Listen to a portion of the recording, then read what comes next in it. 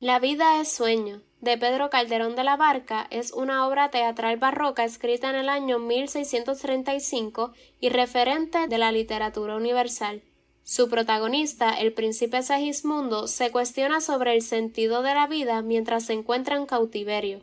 Es una obra barroca caracterizada por las ideas filosóficas sobre la vida, el uso de la escenografía para contrastar ideas antagónicas y la importancia que se da a la civilización por sobre la barbarie. Segismundo, príncipe de Polonia, vive encerrado en un castillo en compañía de su sirviente Clotaldo.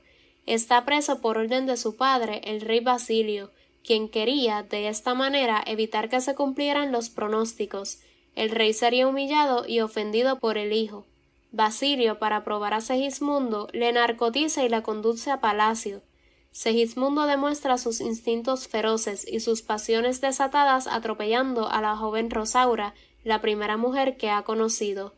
Basilio se convence de lo cruel y despótico que sería un hombre como su hijo si ascendiese al trono, por lo cual nuevamente es narcotizado y llevado a la torre. Segismundo cree que todo ha sido un sueño. El pueblo se subleva a favor de Segismundo, éste vence a su padre cumpliéndose los vaticinios. Segismundo se porta generosamente con su padre, cambia de carácter y refrena la pasión concebida hacia Rosaura, dejando que ésta se despose con su prometido.